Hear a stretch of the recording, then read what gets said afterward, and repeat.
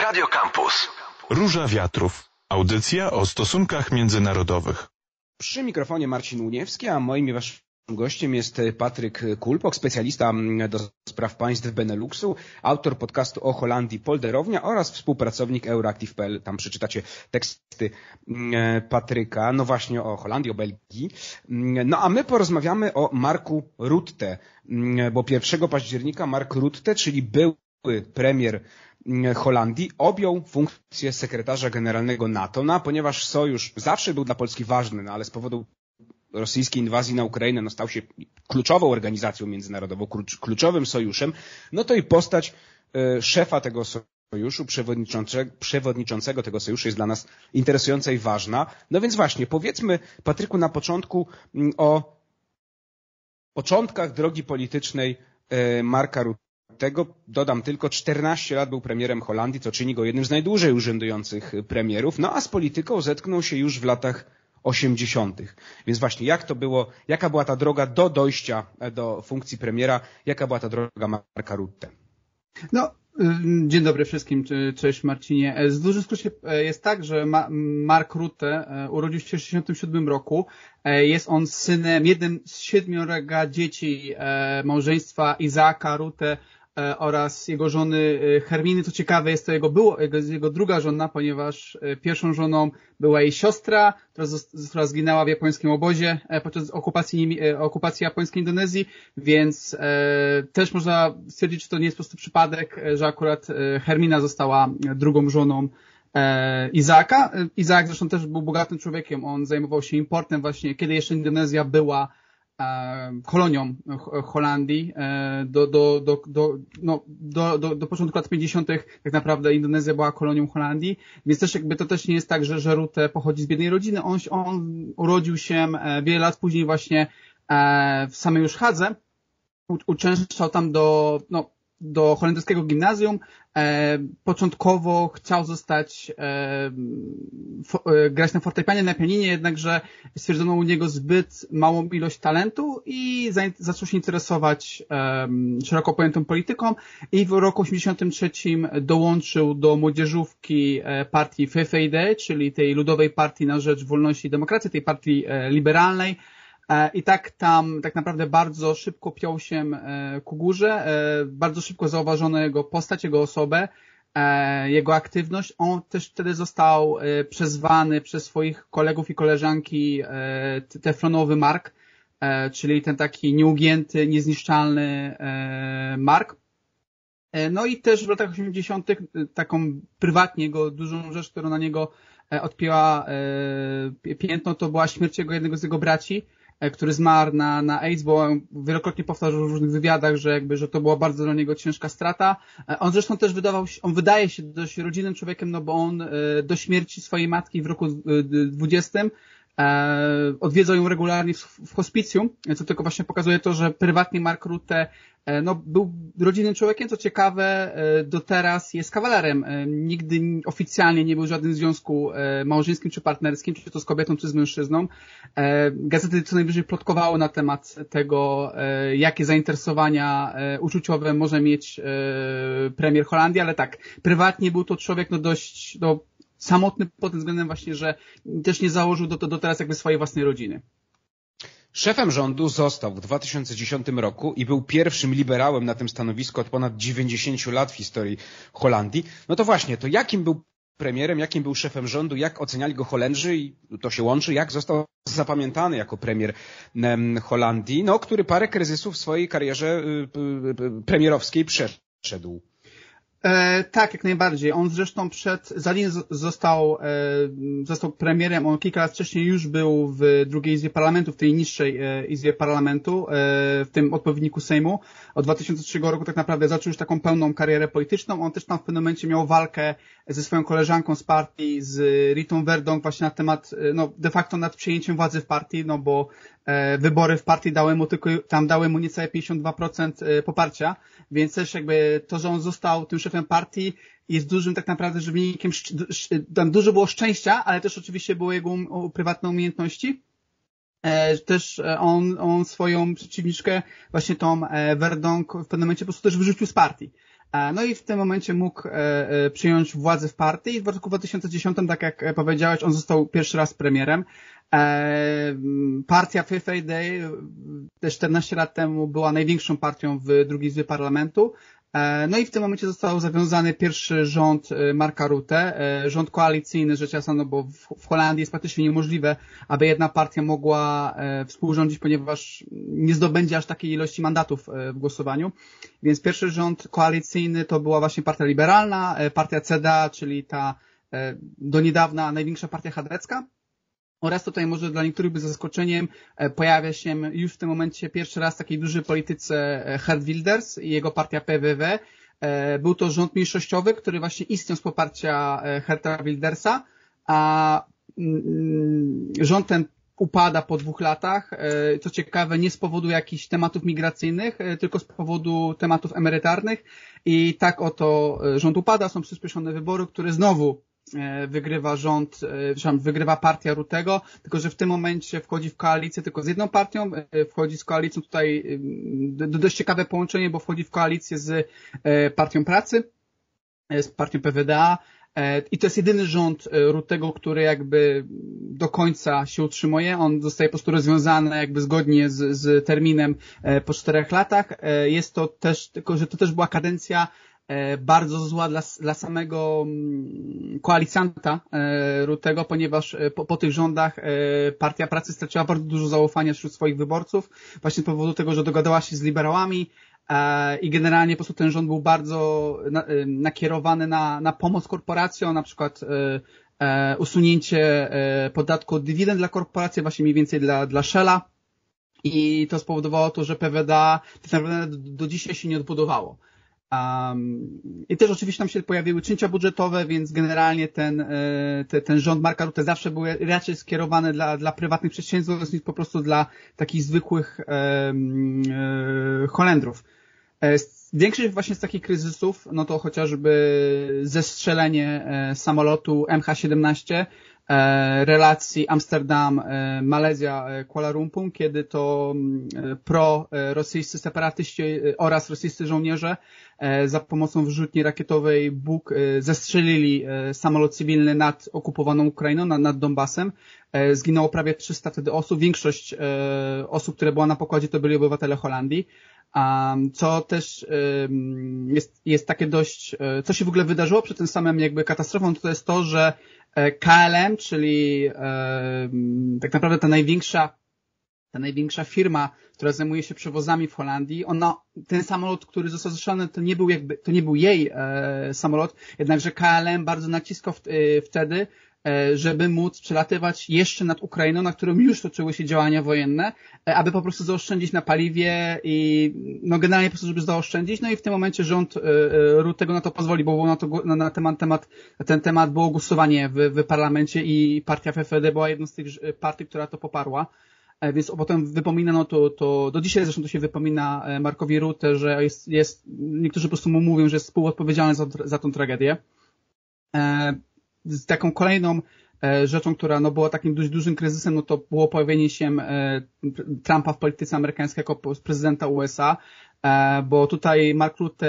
jednak ma ten talent dogadywania się ze wszystkimi. Z czego Rutte zasłynął na arenie międzynarodowej, albo inaczej, jak on się odnajduje na arenie międzynarodowej? No bo część mediów kiedyś opisała go jako zaklinacza Trumpa, to zaraz cię zapytam skąd, skąd takie, taki przydomek, no ale też zwraca się uwagę, że ma dobre relacje bardzo z prezydentem Joe Bidenem. No, generalnie Mark Rutte jakby sunie z tego, że on ma jakąś taką dziwną tendencję do tego, taki jakiś talent ukryty, że no, py pytanie, na ile to jest talent, na ile to po prostu to jest wyuczona e, też pewna rodzaju maniera po prostu ze specjalistami, bo to, że jakby Mark Rutte ma swoich specjalistów e, jakby zakulisowych, którzy po prostu uczą go, jak powiem, przemawiać i tak dalej, no to jakby już wiadomo od wielu lat. No tak, ale Mark Rutte próbuje się dogadać ze wszystkimi. On zresztą całkiem niedawno był chociażby w Chinach, był, był też w Turcji, gdzie przekonywał prezydenta Erdoana, prezydenta Turcji, aby po prostu mógł zostać tym szefem NATO, bo w tym momencie no, musi być konsensus wszystkich członków NATO, aby ten sekretarz po prostu mógł zostać wybrany. Ale wracając też do, do ewentualnych właśnie problemów, jakie, jakie rząd Ruttego miał w przeszłości to chociażby no, pojawienie się pa, pandemii korony, korony, koronawirusa właśnie za kadencji Rotego spowodowało też to, że no on, no, dużo krytyki po prostu spadło na niego, no bo to jakby to jego rząd zatwierdził pierwszą, drugiej wojny światowej godzinę policyjną, i, że tak powiem, ja sam to przeżyłem, no bo ja żyję w Holandii i o 22 tak naprawdę poza osobami wracającymi z pracy, czy z, osobami, które wychodzili z psami, no jakby nikogo nie było na ulicy, no też jakby osoby były zatrzymywane przez policję, e, trzeba było pokazać e, dowód, że, e, że wraca się z pracy, bo idzie się do pracy, więc bardzo po prostu dużo krytyki spadło na Rotego, zwłaszcza z skrajnej prawicy. I też pamiętam, że co tydzień praktycznie odbywały się z tego powodu protesty w Amsterdamie. No i też takim, takim dość dużym, mocnym uderzeniem dla Rutego była afera zasiłków dla dzieci, tak zwana Tuslak aferę, E, kiedy to, żeby było ciekawiej, e, częścią e, odkrycia tej afery był chociażby Peter Omtzigt, no i generalnie okazało się, że, że rząd Rutego przez wiele lat wiedział, nie tylko zresztą premier, ale też prokurator generalny, wiedziano o tym, że mm, istnieje pewien algorytm, który w bazie danych osób, które mają przyzwolenie na zasiłki dla dzieci, na przykład na zasiłek na przedszkole, istnieje algorytm, który po prostu wychwytuje osoby o niezachodnim, nieholenderskim nazwisku E, i oskarża się bezpodstawnie 80% e, osób e, z tej, z tej bazy danych. No i to po prostu spowodowało to, że bardzo wiele osób, ja sam słyszałem prywatnie o takich przypadkach, dostali po prostu z dnia na dzień rachunek do zapłacenia na kilkadziesiąt tysięcy euro, co spowodowało no, bardzo dużo problemów finansowych dla, dla, takich rodzin. No i okazało się po prostu po latach, że to było bezpodstawnie, rząd o tym wiedział i to było tak naprawdę największym uderzeniem, które spowodowało to, że upadł trzeci rząd Marka Rutte, ten, czyli ten kolejny rząd koalicyjny, bo tym razem to był rząd właśnie jego partii E, partii socjaliberalnej D66, e, pojawia się ponownie e, CDA i tą czwartą partią było, była Unia Chrześcijańska, czyli mam tutaj aż, aż czterech graczy. No i ten czwarty rząd, no i potem oczywiście są wybory w czasie COVID-u, no i przez, przez ponad, no około roku są rozmowy koalicyjne, które tak naprawdę doprowadziły do tego samego rządu, który, który był wcześniej, który znowu upada, a pod, tylko tym razem powodem jest polityka azylowa, ponieważ koalicja dzieli się na dwie strony, na stronę właśnie FFD i CDA i na stronę D66CU, kiedy to właśnie ta strona e, FFD CDA e, uważa, że nie powinno się, e, powinno się wprowadzić rygorystyczne prawo względem, względem azylantów i możliwości sprowadzania rodzin przez takich azylantów do Holandii. Z kolei druga strona uważa, że jest to wbrew, wbrew prawu, wbrew prawom człowieka. Tylko wróćmy jeszcze na sekundkę do tej polityki zagranicznej. Właśnie jak te relacje z Trumpem, bo też zacząłeś mówić o tym poprzednio, że pojawia się Trump. No i skąd ten zaklinacz Trumpa? No tak, e, tak bo Trump może e, przecież tak, wrócić na, jako prezydent, więc to też jest ciekawe. E, no i to to właśnie zauważa chociażby no, Porta Politico w ostatnim artykule na temat Marka Rutte, jego właśnie już roli jako, jako, jako szefa NATO. Mhm. No on może wrócić jednak z tego, co wynika, że no, Mark Rutte wydaje się mieć już plan na to. On, on już zresztą raz go, że tak powiem, uspokoił, w sensie on uspokoił, no. Potrafił, miał swoje jakieś ukryte talenty do gadania się z Donaldem Trumpem i odnośnie tego po prostu, żeby jednak wspierał dalej na to, żeby USA było dalej częścią NATO, no bo z perspektywy europejskiej jednak USA jest dość silnym e, sojusznikiem e, na, na arenie militarnej, tak no chociażby tego, że mamy tutaj e, wojnę w Ukrainie. Zresztą pierwszą wizytą Marka Rutte po objęciu tego stanowiska, no była wizyta w Kijowie, kiedy spotkał się z prezydentem Żeleńskim e, i, przemówi, i przemawiał, że no dla niego no, Ukraina będzie częścią NATO bez względu na to, e, co Rosja o tym myśli. Więc to jak najbardziej te, te, te proukraińskie stanowisko no jest, jest widoczne, pomimo tego, że wiele, wiele lat wcześniej no jest to takie słynne zdjęcie, kiedy to Mark Rutte, e, czy to na tym zdjęciu mamy właśnie Marka Rutte, czy, czy Angelę Merkel, ale właśnie też e, ówczesnego e, prezydenta Rosji Medwiediewa, gdzie po prostu no, jest ten, ta słynna umowa tak na temat Nord Streamu,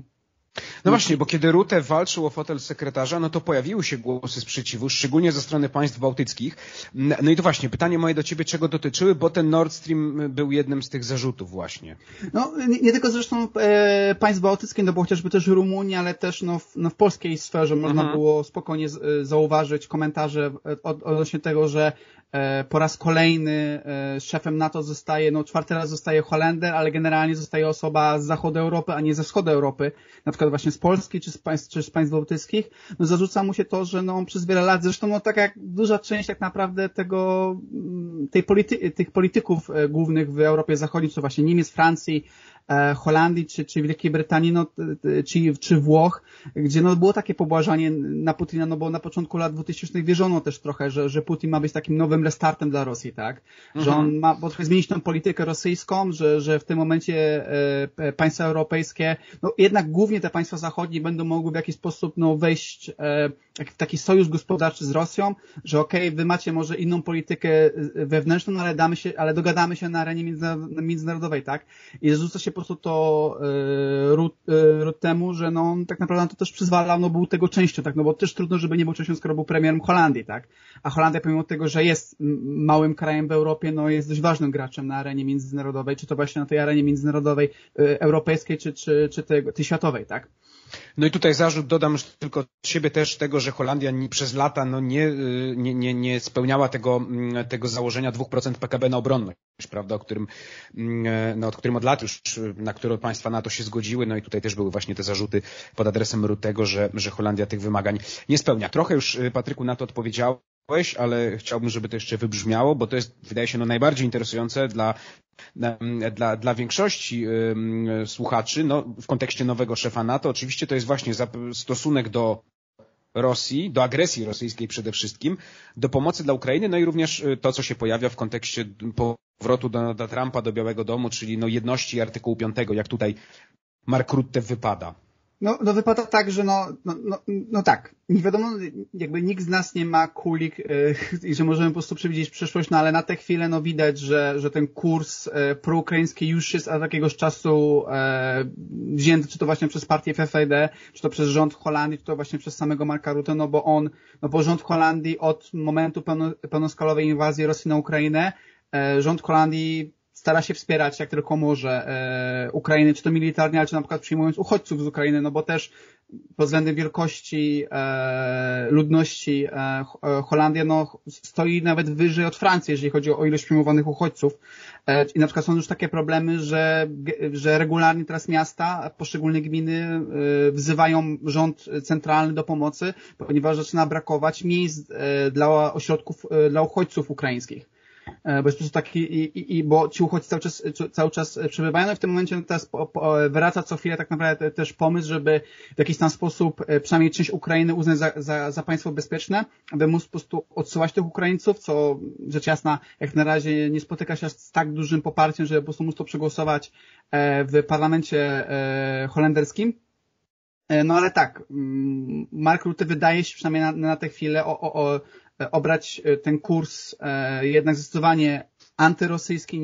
niż neutralny, no ale też no, miejmy, miejmy też tą świadomość, że, że Rosja to nie jest tylko tak naprawdę jedyny gracz e, na, na, na tej arenie międzynarodowej, no bo mamy chociażby też Chiny, gdzie Mark Rutte jeszcze, kiedy już był premierem dymisjonującym, on zresztą odwiedził Chiny, spotkał się z Xi Jinpingiem, E, w kontekście e, no, technologicznym, tak, e, półprzewodników, no bo też półprzewodniki i procesory są, są też budowane i tworzone na terenie Holandii, tak, no, w Eindhoven czy w Dell, tak, są, są mhm. główne firmy, które się tym zajmują, no ale też, no, też warto pamiętać, że pomimo tego, że chociażby Turcja jest, jest, jest, jest państwem NATO, jest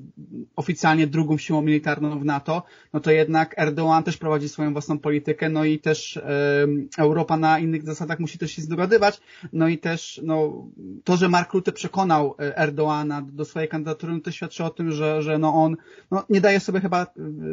w kaszę dmuchać, no i stara się też znajdować swoich, swoich takich przyjaciół, przynajmniej może nawet nie tyle co przyjaciół, to sojuszników e, w różnych państwach i, i też po prostu zabiegać o, o ich poparcie, więc e, to jak można to zauważyć, no, no to to jest to, że Mark Rutte jednak będzie się starał E, tworzyć więcej sojuszy niż, niż przeciwników, jeżeli chodzi o jego stanowisko sekretarza generalnego NATO. No właśnie, to jeszcze e, pomówmy chwilkę, właśnie jaki twoim zdaniem on będzie sekretarzem, patrząc oczywiście, no bo też nie, nie możemy wróżyć, nie, niedawna jest kilka dni, natomiast no właśnie patrząc na jego karierę polityczną, na jego mm, e, pseudonim teflonowy Mark, prawda, na, na jego sposób negocjacji, zarządzania w Holandii, to czy on będzie właśnie takim bardziej ugodowym, szukającym, szukającym jakiegoś porozumienia, no wykorzystującym ten swój, nie wiem, urok, charyzmę, porady doradców, jak to nazwać, to, to, to, to co ułatwia mu rozmowy chociażby z Donaldem Trumpem, no czy będzie jakimś takim bardziej zdecydowanym na przykład sekretarzem? Jak, jak myślisz, jak to będzie wyglądało? E, no, chociażby to, jakich on e, sojuszników i koalicjantów potrafił znaleźć, no bo z jednej strony potrafił e, dogadywać się z HDK-ami, potrafił się dogadywać z Partią Pracy, ale też na przykład w pewnym momencie wszedł przecież w sojusz ten z poparciem jego rządu mniejszościowego z samym Hertem Widersem, co też częściowo wtedy odpowiada za, za, za zwycięstwo partii Widersa w Holandii, ale też na przykład z takich bardziej rys, już na, bo te, te, te rysy na tym mhm. telefonie wbrew pozorom są, bo na przykład w roku 2017 on próbował odejść jako, jako, jako przywódca partii e, i tutaj proponowano innemu politykowi takie nazwisko e, Klaas Dijshoff. On odmawiał przyjęcia jakby władzy w partii. Zresztą, kiedy Jezylgus przyjęła, aktualna liderka przyjęła władzę w partii FFD, tam zresztą była taka, taka dość ciekawa gra polityczna, no bo on miał wywiad, gdzie on generalnie E, zdystansował się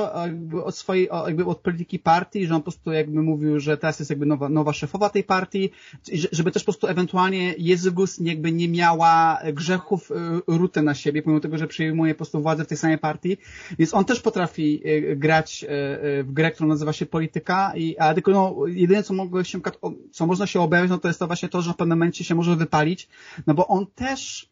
jak on już, podał do, dymisji jako, jako, jako premier e, w zeszłym roku w lipcu, kiedy jego rząd, czwarty rząd upadł, on, on powiedział e,